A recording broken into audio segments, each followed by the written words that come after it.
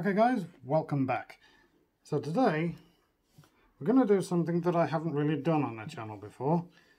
We're going to be doing, we're going to be covering a few little easy coin vanishes and productions and all that different stuff. okay. So this is, it's a quarter dollar. Obviously I'm not American. Uh, but this is just a coin that I had lying around. Roughly the same size as an English 10p. The size of the coin doesn't really matter.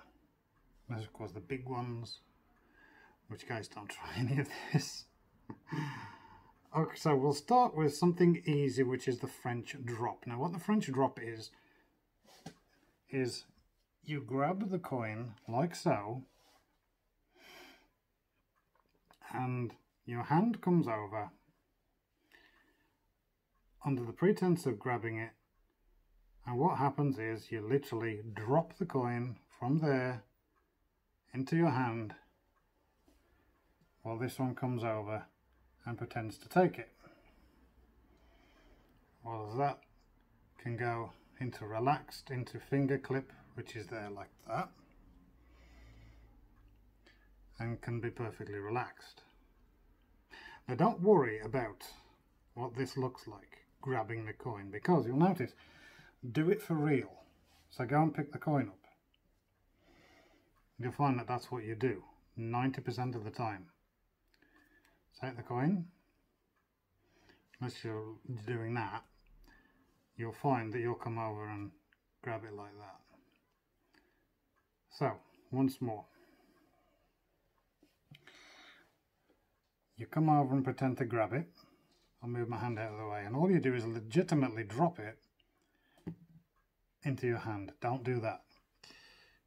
It's a bit difficult to do with the camera in its position. So drop it from there into your hand like so okay? From there once you've come over and grabbed it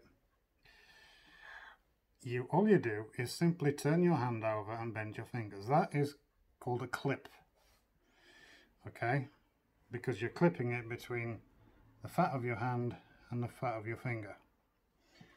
And that's executed simply by timing as you turn your hand over. So from that position, move your fingers at the same time as turning your hand over like so. Rest your hand on the table well you have that one there. You can then vanish that in whichever way you like. Now you might be worried about this hand being dirty. Don't worry about it too much because there are ways of transferring the coin from one hand to another in the act of just showing your hands empty okay and then you can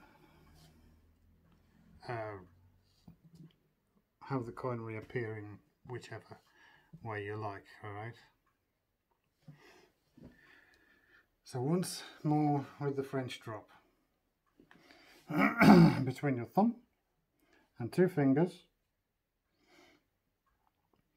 you want to make sure that the drop is straight down so that it hits this part of your hand or this part of your hand. So what you're doing is just dropping it like so as that hand comes over try to grab it.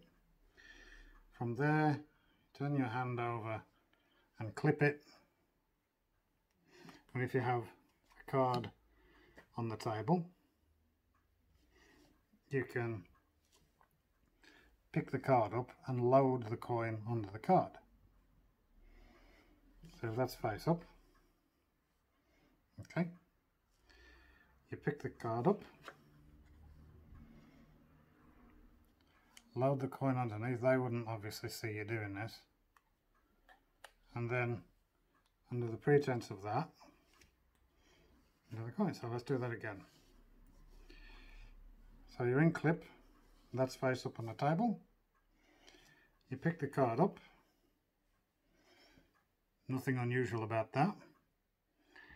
Slide it over the coin. Nothing unusual at all. And then all you do is put it back on the table by doing that. Okay? And all I've done there, without the card, is when the card's there and you pick it up, you've already done that action, so there's nothing suspicious about that action. Pick up the card between your first finger and thumb. As you turn your hand over, you slide the card back over the coin, which is in that position.